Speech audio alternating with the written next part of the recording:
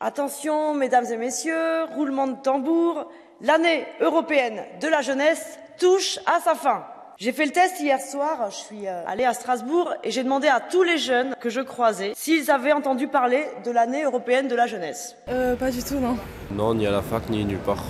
Non, pas moi en tout cas. Non plus.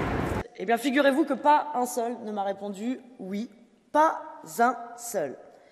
Pourtant, ça aurait pu être un événement. Elle avait toutes les raisons d'être, cette année européenne de la jeunesse, entre l'explosion du nombre de jeunes qui est obligé de démarrer sa vie active en faisant la queue au resto du cœur. Une personne sur cinq qui fait la queue pour l'aide alimentaire a entre 15 et 25 ans. Elle avait du sens, cette année européenne de la jeunesse, vu le nombre d'étudiants qui naviguent entre bourse et petits boulots et qui étaient obligés de se contenter d'un repas par jour parce qu'ils ne peuvent pas payer leurs factures. Pourtant, nous pouvons le dire aujourd'hui, cette année européenne de la jeunesse a été une occasion manquée.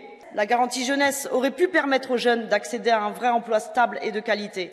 Mais non, finalement, elle les installe dans la précarité. Sur le revenu minimum, on attendait une vraie directive contraignante de la Commission européenne, une directive qui donne accès à toutes et à tous au revenu minimum, quel que soit leur âge. Elle aurait forcé la France à mettre un terme à la discrimination des jeunes de moins de 25 ans dans l'accès au RSA. Mais non, nous avons eu une recommandation. Même les stagiaires, les stagiaires, ils ont été obligés la semaine dernière de venir devant le Parlement européen pour nous demander l'interdiction de cet esclavage moderne que sont les stages non rémunérés. Alors c'est vrai, j'avais pris goût aux affiches grand format avec euh, des jeunes souriants qui disent année européenne de la jeunesse le matin quand on arrive au Parlement européen. C'est vrai que ça, ça va me manquer.